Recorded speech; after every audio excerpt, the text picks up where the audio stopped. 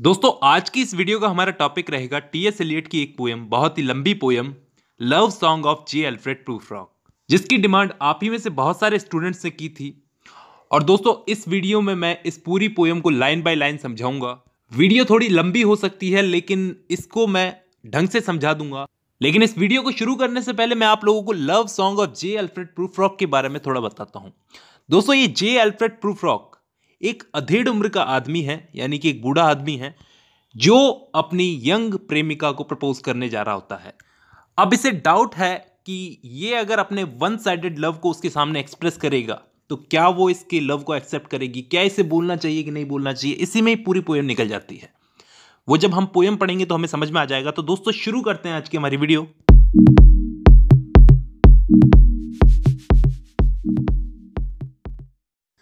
तो ये हमारी पोएम की शुरुआती कुछ लाइनें हैं।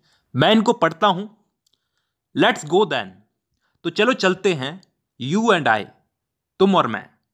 When the evening spread out against the sky इस लाइन का मतलब है जब आसमान में शाम के समय थोड़ी थोड़ी डार्कनेस फैली हुई है। Like a patient etherised upon the table जैसे एक मरीज़ बेसुद्ध यानी सुन्न सा टेबल पे पड़ा हुआ है। दोस्तों, यहाँ पे इधराइज का मतलब है सुन्न सा, बेसुद्ध, जिसको कुछ होश ना हो, कुछ महसूस ना होता हो। लेट्स गो चलो चलते हैं through the certain half deserted streets इन सुनसान गलियों में से, ये हाफ़ डेजर्टेड का मतलब सुनसान। द मटरिंग रिट्रीट्स दोस्तों, यहाँ पे मटरिंग रिट्रीट्स का मतलब यह है कि इन घरों में से जो ये सुनसान गलियाँ हैं, इनमें जो घर हैं। इनमें से कुछ बड़बड़ाने की आवाज़ आ रही है। यहाँ पे मटरिंग का मतलब है बड़बड़ाना और रिट्रीट्स का मतलब है घर। Of restless nights in one night cheap hotels और जो लोग इन घरों में रहते हैं, उन लोगों को इन घरों में अपनी रेस्टलेस नाइट्स स्पेंड करनी पड़ती है। यानी कि ये एक रात के चीप होटल्स जो होते हैं, इनमें आखिरी ऑप्शन जब इनके पास बचता है, तब जाकर के इन एक रात के चीप होटल्स में आकर के अपनी नाइट इनको स्पेंड करनी पड़ती है। और उन घरों में से ये मटरिंग का साउंड आ रहा है। आगे बोलते हैं and sawdust restaurants with oyster shells और ये रेस्टोरेंट्स जो हैं, ये धूल से भरे हुए हैं, बुरादे से, धूल से भरे हुए हैं, और ऑस्टर शेल्स से। दोस्तों, यहाँ पे सॉडस्ट का मतलब धूल, बुरादा टाइप का। आगे बोलते हैं streets गलियाँ that follows like a tedious argument ये गलियाँ जिनमें हम चल रहे हैं, वो टीडियस आर्ग्यूमेंट्स की तरह है। मतलब ये गलियाँ, ऐसी गलियाँ हैं, बड़ी ही घुमावदार गलियाँ हैं। ऐसे लगता है जैसे ये थकाने वाले आर्ग्यूमेंट्स की तरह हैं। जिनमें कुछ इंसीडियस इंटेंशन हो। आई होप दोस्तों यहाँ तक क्लियर है। अब हम लोग आगे बढ़ते हैं। To lead you to an overwhelming question मैं तुम्हें ले चलता हूँ। टू लीड यू का मतलब यहाँ पे है to take you to an overwhelming question overwhelming question मतलब एक सीरियस क्वेश्चन पूछने के लिए। ओ do not ask what it is लेकिन यह मत पूछो कि वो क्वेश्चन क्या है। क्योंकि प्रूफ रॉक यहाँ पर बताना नहीं चाहता कि वो क्या क्वेश्चन पूछने जा रहा है, किससे क्वेश्चन पूछने जा रहा है, क्या पर्पज है इस विज़िट का। वो कहता है कि चलो let's go let's go and make our visit कि हम लोग अपने विज़िट पर चलते हैं। आगे ये जो दो लाइनें हैं, इसको गौर से सुनना। इन अ रूम रूम में the women come and go मतलब होटल के रूम में महिलाएँ वुमेन आ रही थी और जा रही थी। टॉकिंग ऑफ़ माइकल एंजेलो और वो माइकल एंजेलो की बात कर रही थी। दोस्तों, ये माइकल एंजलो सिक्सटीन सेंचुरी का एक ग्रेट इटालियन पेंटर था और उसके आर्ट के बारे में शायद ये शहरी महिलाएँ जानती भी नहीं है और उसकी बातें कर रही है माइकल एंजलो की। तो एलियट यहाँ पर सटायर करता है एक तरह से कि ये मॉडर्न महिलाएँ कितनी दिखावटी हैं। आगे की लाइनें बोलती हैं, द येलो फॉग ये पीली कलर की धुंध, ओस नहीं होती, ओस, उसको बोलते हैं फॉग। तो ये पीले कलर की fog rubs its back upon the window panes अपनी पीठ को खिड़की के शीशों से रगड़ रही है। विंडो पेन्स का मतलब खिड़की के शीशों से। तो यहाँ पे ये एक बिल्ली की तरह बता रहे हैं। येलो फॉग को यहाँ पे टी एस इलियट एक बिल्ली की तरह बता रहे हैं कि येलो फॉग जो है वो अपनी पीठ को खिड़की के शीशों से रगड़ रही है। The yellow smoke that rubs its muzzle on the window panes और ये येलो स्मोक अपने मजल को खिड़की के शीशों से रगड़ रही है। दोस्तों, ये मजल जो है, एक टाइप की जाली होती है जो डॉग्स के मुँह पर पहनाई जाती है। कुछ इस तरह से। आगे बोलते हैं licked tongue into the corners of the evening दोस्तों, इस लाइन का मतलब बहुत गहरा है, समझना। कि इस लाइन का मतलब यह है कि फॉग इतनी है कि उसने हर चीज़ को कवर कर लिया है। कोई भी चीज़ दिखाई नहीं दे रही है सब चीज़ों को उसने अपनी जीप से चाट लिया है। ये फॉग ने अपनी जीप से licked stung corners of the evening evening के हर एक कॉर्नर को चाट लिया है। आगे बोलते हैं lingered upon the pools and stand in drains कि वो फॉग पूल्स और ड्रेन्स दोनों में पाई जाती है। पूल्स का मतलब पूल्स का मतलब तो आप जानते ही हो ड्रेन्स का मतलब होता है नालियाँ। और यहाँ पे लिंगर्ड अपॉन का मतलब है hung upon let fall upon its back the soot that falls from chimneys और वो जो फॉग है येलो कलर की फॉग वो अपनी बैक पर, अपने अंदर, एक तरह से अपने अंदर स्मोक और डस्ट के जो कण चिमनी से निकल करके आ रहे हैं, उस चिमनी से निकल करके आ रहे हैं काले काले सूट का मतलब है काले काले, वो अलाउ कर रही है उनको अपने अंदर मिलने के लिए। देखिए दोस्तों, यहाँ पे मैं आपको एक बात बता दूँ कि अगर फॉग के अंदर स्मोक मिल जाती है, यानी कि छोटे छोटे पार्टिकल्स, गंदगी मिल जाती है तो वो फॉग नहीं रहती, वो स्मोक बन जाती है। आगे बोलते हैं स्लिप्ड बाय द टेरेस और वो टेरेस से पास होती है। स्लिप्ड का मतलब पास होना। कौन पास होती है? Smoke made a sudden leap and seeing that it was a soft October night और वो स्मोक एक सडनली एक जंप करती है, एक लीप लीप का मतलब होना जंप करती है और जा करके अक्टूबर नाइट में मिल जाती है। Curled once about the house and fall asleep और फॉग जाकर के उसी घर में घुसती है और वहीं रुक जाती है। And indeed there will be time और वास्तव में इतना टाइम है for the yellow smoke that slides along the street yellow smoke के पास कि वो गलियों में घूमे। स्लाइड्स का मतलब दोस्तों, मूव करना, घूमना। तो वास्तव में येलो स्मोक के पास इतना टाइम है कि वो गलियों में घूमे।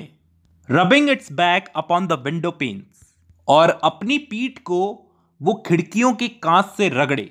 There will be time there will be time इतना टाइम है, इतना टाइम है। To prepare a face to meet the faces that you meet अपने आप को तैयार करने का उन चेहरों से मिलने के लिए जिनसे तुम मिलोगे। यहाँ पे टू प्रिपेयर अ फेस का मतलब है अपने आप को रेडी करना, तैयार करना। तो कौन यहाँ पे खुद को तैयार कर रहा है? जे एल्फ्रेड प्रूफ्रॉक क्योंकि वो किसी से अपने मन की बात कहने जा रहा है। आगे की लाइनों में बोलते हैं there will be time to murder and create और इतना टाइम है कि एक मर्डर भी किया जा सके और क्रिएशन भी। मतलब यहाँ पर प्रूफ्रॉक को मैरिज प्रपोजल की इतनी कोई जल्दी नहीं है। वो कहता है कि अभी खूब टाइम है। And time of all the work and days of hands और इतना टाइम है कि सारे, अपने सारे डेली रूटीन के वर्क्स किए जा सकें। That lift and drop a question on your plate और क्वेश्चन उठाने और रखने का भी टाइम है। To put it on your plate तुम्हारी प्लेट में रखने के लिए। Time for you time for me तुम्हारे लिए टाइम है, मेरे लिए टाइम है। And time yet for hundred indecision और हंड्रेड इनडिसीजन के लिए भी टाइम है. मतलब मैंने हंड्रेड टाइम्स ये डिसीज़न लिया कि मैं तुमसे क्या पूछूँ? And for hundred vision and revision और हंड्रेड टाइम्स उन क्वेश्चन को सोचने का और उन क्वेश्चंस का रिवाइज रिविजन करने का खूब टाइम है अभी. Before the taking off a toast and tea मतलब before taking a cup of tea and toast एक कप चाय और टोस्ट लेने से पहले। और आगे फिर से वही लाइन दोहराई जाती है। In the room the women come and go talking of Michael Angelo कि उस रूम में वुमेन आ रही थी, जा रही थी और माइकल एंजेलो की बातें कर रही थी। आगे बढ़ते हैं। एंड इन डीड और वास्तव में देयर विल बी टाइम इतना टाइम है टू वॉन्डर कि मैं अपने आप से पूछ सकूँ। टू वॉन्डर का मतलब है, मैं अपने आप से पूछ सकूँ डू आई डेयर क्या मुझमें इतनी हिम्मत है? एंड डू आई डेयर क्या मुझमें इतनी हिम्मत है? क्या मैं हिम्मत कर सकता हूँ अपनी बात कहने की? Time to turn back and descend the stair अब टाइम आ गया है कि मुड़ करके सीढ़ियों से नीचे उतरने का। डिसेंड का मतलब है नीचे उतरना स्टेयर का मतलब सीढ़ियाँ। With a bald sport in the middle of my hair इस लाइन का मतलब है मेरे बालों के बीच में एक बाल्ड स्पोर्ट है। मतलब थोड़ा गंजापन सा है।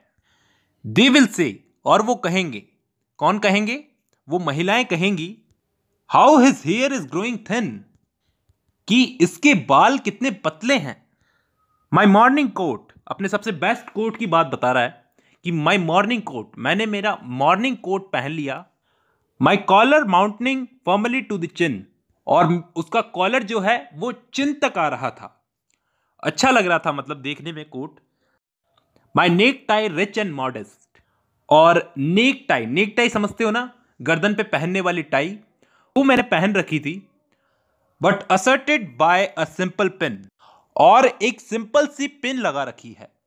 मतलब इतना अच्छा खासा लुक लेकर के मैं जाऊँगा, लेकिन वो मेरे लुक पे फोकस नहीं करेंगे। दे विल से वो कहेंगे but how his arms and legs are thin कि इसके हाथ और पैर कितने पतले हैं।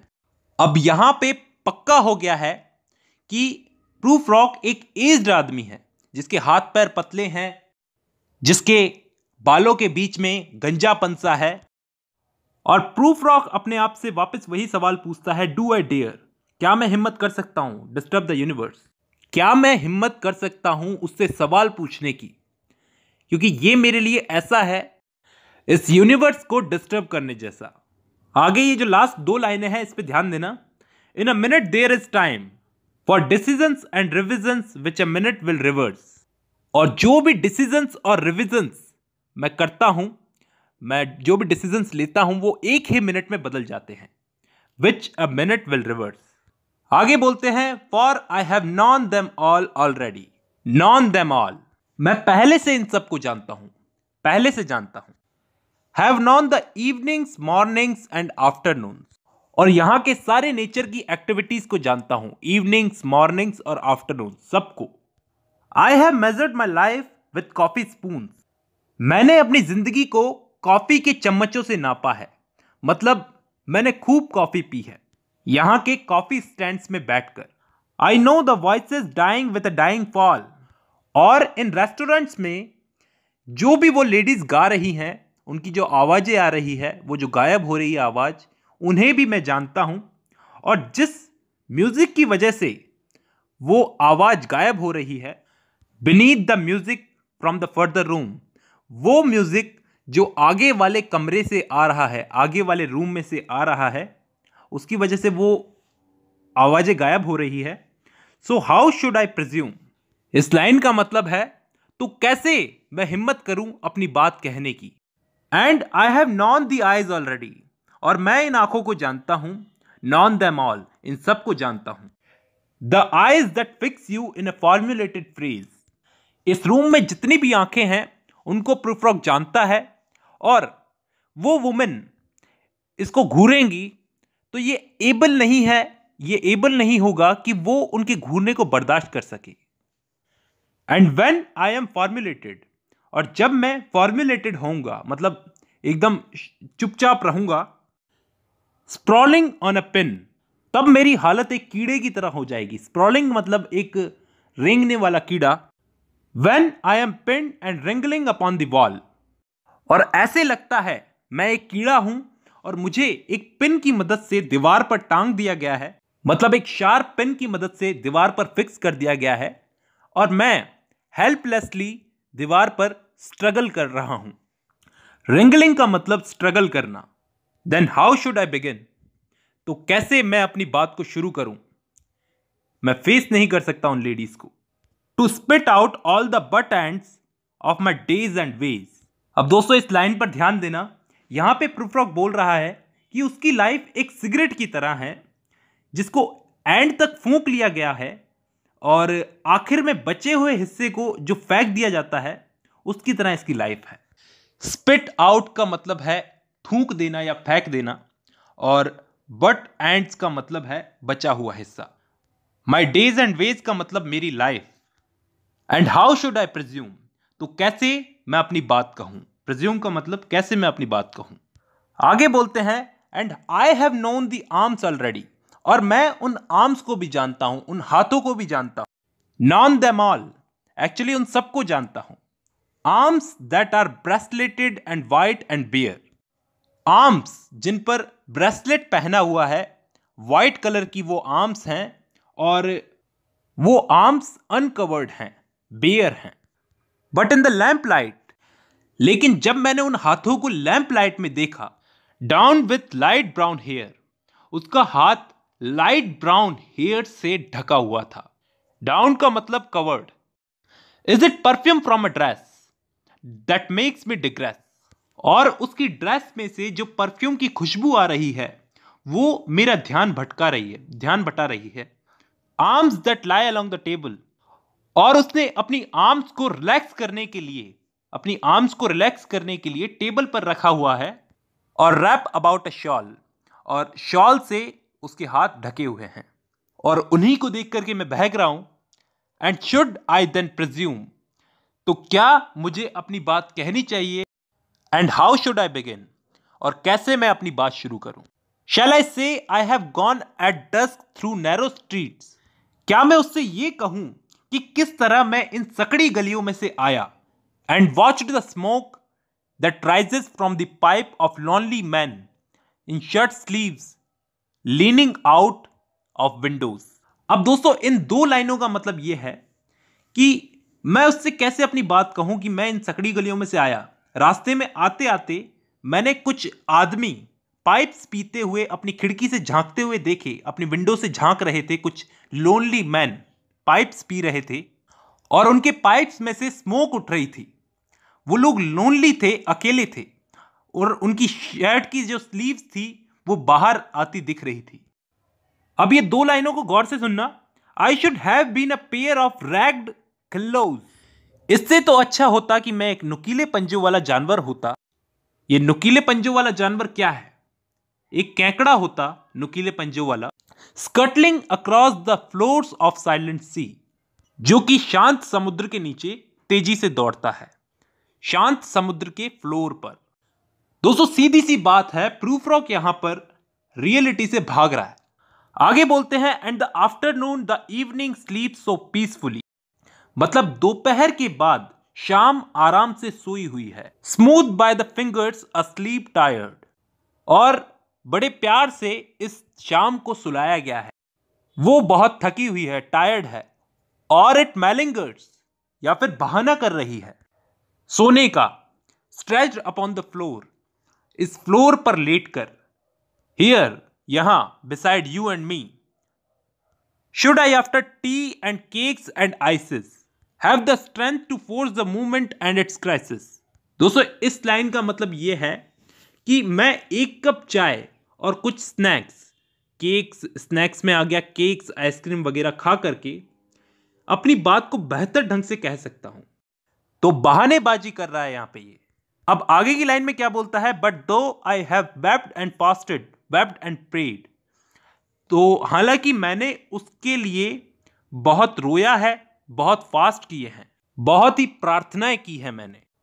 Though I have seen my head grown slightly bald brought it upon a platter दोस्तों, इसका मतलब यह है कि मुझे ऐसे लग रहा है जैसा मेरा सर काट कर तुम्हारे सामने एक प्लेट में प्रेजेंट किया गया है। ग्रॉन स्लाइटली बर्ल्ड का मतलब है मेरा जो गंजा सर है, उसको तुम्हारे सामने प्लेट में रख करके प्रेजेंट किया गया है। आई एम नो प्रॉफिट मैं कोई भविष्य बताने वाला नहीं हूँ। And here is no great matter और ये कोई बड़ी बात भी नहीं है। I have seen the movement of my greatness flicker मैं देखता हूँ कि उस मूवमेंट पर मुझे बहुत ज़्यादा हेजिटेशन होती है। हेजिटेशन मतलब हिचकिचाहट। यहाँ पे फ्लिकर का मतलब है hesitation and I have seen the eternal footman hold my coat and snicker और मुझे ऐसा लगता है कि मौत का देवता गॉड ऑफ़ डेथ मेरे कोट को होल्ड करता है और मेरी बुजदली पर वो हंसता है। स्निकर का मतलब हंसना। और आगे बोलता है वो, इस छोटी सी लाइन में बोलता है and in short I am afraid in short मैं बहुत डरा हुआ and would it have been worth it तो क्या ये सही रहेगा? After all after the cups the marmalades the tea ये मार्मलेट एक टाइप का जैम होता है तो क्या ये सही रहेगा? कि एक कप चाय और ये जैम एक टाइप का जैम ये खाने के बाद में, चाय पीने के बाद में among the porcelain among some talk of you and me porcelain का मतलब होता है एक टाइप के चीनी मिट्टी से बने हुए बर्तन। तो चीनी मिट्टी से बने हुए बर्तनों को देखते हुए तुम्हारे और मेरे बीच में बातचीत हो, और बीच में ही मैं तुम्हें अपनी बात कह देता। Would it have been worth while ये कितना सही रहेगा? To have bitten off the matter with smile कि मैं हँसते हँसते स्माइल करते करते बहुत ही क्विकली अपना मैरिज प्रपोजल उसके सामने रख देता। To have squeeze the universe into a ball इस लाइन को पढ़कर के ऐसा लगता है। इसके बाद वो सोच रहा है कि उसे ये काम करने के लिए ग्रेट एफर्ट्स लगाने होंगे। जैसे कि पूरे यूनिवर्स को एक बॉल में स्क्वीज कर ले कर लेना होगा उसको। मतलब ये उसके लिए एक ऐसा टास्क है जो एकदम ही इम्पॉसिबल है। तो वो एक बॉल में सारी यूनिवर्स की पावर को स्क्वीज कर लेगा to roll it toward some overwhelming question to say और उसके सामने एक क्वेश्चन रखेगा। उससे क्वेश्चन पूछने के लिए वो ये सब कर रहा है। टू से आई एम लेजरस वो उसको कहेगा कि आई एम लेजरस मैं लेजरस हूँ। कम फ्रॉम द डेड और मौत से लौटकर आया हूँ। वापस आया हूँ। Come back to tell you all और तुम्हें बताने आया हूँ। I shall tell you all मैं तुम्हें सब कुछ बताने आया हूँ। If one setting a pillow by her head if one मतलब उसकी प्रेमिका अपने पिलो को अपने सर के नीचे वो सेट करेगी शुड से और कहेगी that is not what I meant at all that is not at all कि मैं जो तुमसे इतना प्यार से बात करती थी, इतना पोलाइटली बात करती थी तो इसका मतलब ये नहीं था कि मैं तुमसे प्रेम करती हूँ। अब दोस्तों, आगे की लाइनों में बढ़ने से पहले मैं आपको इस लेजरस के बारे में बता देता हूँ। ये लेजरस जो था, ये बाइबल का एक कैरेक्टर था, जो मौत से बचकर वापस आया था और अपने फ्रेंड्स को इसने अपनी डेथ की स्टोरी सुनाई थी। And would it have been worth at all और कितना अच्छा होता after all would it have been worth at all कितना अच्छा होता। While after the sunsets and the dooryards the sprinkled streets after the novels after the tea cups after the skirts the trail along the floor and this and so much more तो यहाँ पे इसका मतलब यह है कि इसने sunset हो जाने के बाद अपने पूरे दिन की एक्टिविटी बताई है कि नोवेल्स पढ़ते हुए टी कप्स लेते हुए और गर्ल्स के साथ डांस करते हुए और ऐसे ही बहुत सारे काम करते हुए बातों ही बातों में उससे अपनी बात कह देता। It is impossible to say just what I mean ये इम्पॉसिबल है, मैं कैसे उससे अपने मन की बात कहूँ? But as if magic learn through the nerve in pattern on a screen दोस्तों, इस लाइन का मतलब यह है कि अगर जैसे एक एक्सरे मशीन होती तो मेरे नर्व्स के जो पैटर्न्स बन रहे हैं, उसको एक स्क्रीन पर दिखा देती। जिससे खुद ब खुद वो मेरी भावनाएँ समझ जाती। मुझे बोलने की ज़रूरत ही नहीं पड़ती। Would it have been worth while तब कितना अच्छा होता। आगे बोलते हैं, वही लाइन दोहराते हैं if one setting a pillow and throwing off a shawl कि इफ़ वन मतलब उसकी प्रेमिका, वो अपना पिलो सेट करती और अपनी शॉल को जो है वो साइड में फेंक देती and turning toward the window और विंडो की तरफ़ जाती शुड से और कहती that is not at all that is not what I meant at all कि मैं जो तुमसे बात करती थी तो उसका मतलब ये नहीं था, उसका मतलब ये बिल्कुल नहीं था।